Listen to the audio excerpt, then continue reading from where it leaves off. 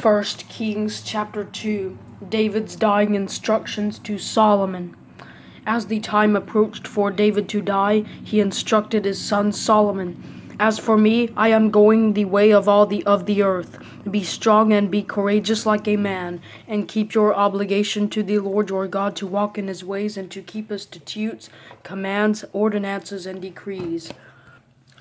This is written in the law of Moses, so that you will have success in everything you do and wherever you turn, and so that the Lord will carry out his promise that he had made to me. If your sons are careful to walk faithfully before me with their whole mind and heart, you will never fail to have a man or on the throne of Israel. You also know what Joab son of Zeruiah did to me, and what he did to the two commanders of Israel's army. Abner son of Ner and Amasa son of Jether. He murdered them in a time of peace, of avenge blood to avenge blood shed in war. He spilled that blood on his own waistband and on the sandals of his feet.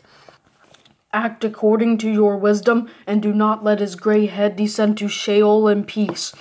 Show loyalty to the sons of Barzillai the Gileadite, and let them be among those who eat at your table, because they supported me when I fled from your brother Absalom. Keep an eye on Shimei son of Gera, the Benjaminite from Bahurim, who is with you. He uttered malicious curses against me the day I went to Mahanaim, but he came down to meet me at the Jordan River, and I swore to him by the Lord, I will never kill you with the sword. So do not let him go unpunished, for you are a wise man. You know how to deal with him to bring his gray head down to Sheol with blood. Then David rested with his fathers and was buried in the city of David. The length of time David reigned over Israel was forty years. He reigned seven years in Hebron and thirty three years in Jerusalem. Solomon sat on the throne of his father David, and his kingship was firmly established. Adonijah's foolish request. Now Adonijah, son of Haggith, came to Bathsheba, Solomon's mother. She asked, Do you come peacefully? Peacefully, he replied, and then asked, May I talk with you? Go ahead, she answered. You know the kingship was mine, he said. All Israel expected me to be king, but then the kingship was turned over to my brother, for the Lord gave it to him. So now I have just one request of you. Do not turn me down. She said to him, Go on. He replied, Please speak to King Solomon, since he will not return turn you down. Let him give me Abishag the Shunammite as a wife. Very well, Bathsheba replied, I will speak to the king for you. So Bathsheba went to King Solomon to speak to him about Adonijah. The king stood up to greet her, bowed to her, sat down on his throne, and had a throne placed for the king's mother, so she sat down at his right hand. Then she said, I, will, I have just one small request of you. Do not turn me down. Go ahead and ask, mother, the king replied, for I will not turn you down. So she said, Let Abishag the Shunammite be given to your brother Adonijah as a wife. King Solomon answered his mother, Why are you requesting Abishag the Shunammite for Adonijah? Since he is my elder brother, you might as well ask the kingship for him, for Abiathar the priest, and for Joab son of Zeruiah. Then Solomon took an oath by the Lord, May God punish me and do so severely if Adonijah has not made this request at the cost of his life. And now, as the Lord lives, the one who established me, seated me on the throne of my father David, and me, made me a dynasty as he promised, I swear Adonijah will be put to death today. Then King Solomon gave the order to Benaiah son of Jehoiada, who struck down Adonijah, and he died.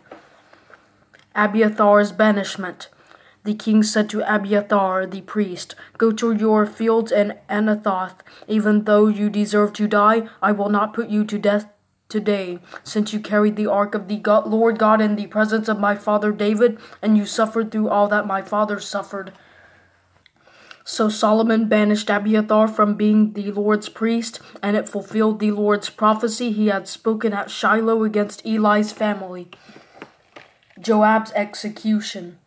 The news reached Joab. Since he had supported Adonijah but not Absalom, Joab fled to the Lord's tabernacle and took hold of the horns of the altar. It was reported to King Solomon, Joab has fled to the Lord's tabernacle and is now beside the altar. Then Solomon sent Benaiah son of Jehoiada and told him, Go and strike him down. So Benaiah went to the tabernacle and said to Joab, This is what the king says, Come out. But Joab said, No, for I will die here. So Benaiah took a message back to the king. This is what Joab said, and this is how he answered me. The king said to him, Do just as he says. Strike him down and bury him in order to remove from me and from my father's house the blood that Joab shed without just cause.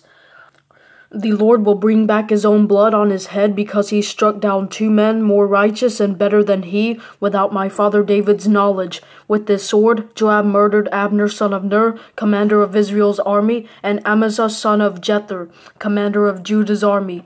Their blood will come back on Joab's head and on the head of his descendants forever. But for David, his descendants, his dynasty, and his throne, there will be peace from the Lord forever. Benaiah son of Jehoiada went up, struck down Joab, and put him to death. He was buried at his house in the wilderness. Then the king appointed Benaiah son of Jehoiada in Joab's place over the army, and he appointed Zadok the priest in Abiathar's place. Shimei's banishment and execution. Then the king summoned Shimei and said to him, Build a house for yourself in Jerusalem and live there, but do not leave there and go anywhere else. On the day you do leave and cross the Kidron Valley, know for sure that you will certainly die. Your blood will be on your own head.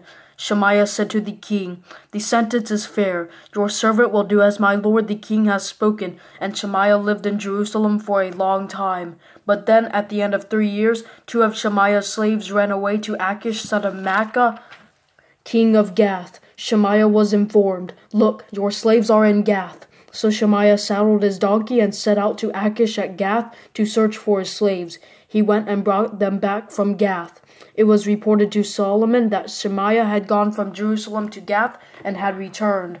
So the king summoned Shimei and said to him, Didn't I make you swear by the Lord and warn you, saying, On the day you leave and go anywhere else, know for sure that you will certainly die? And you said to me, The sentence is fair. I will obey. So why have you not kept the Lord's oath and the command that I gave you? The king also said, You yourself know all the evil that you did to my father David. Therefore, the Lord has brought back your evil on your head. But King Solomon will be blessed, and David's throne will remain established before the Lord forever. Then the king commanded Benaiah son of Jehoiada, and he went out and struck Shimei down, and he died. So the kingdom was established in Solomon's hand.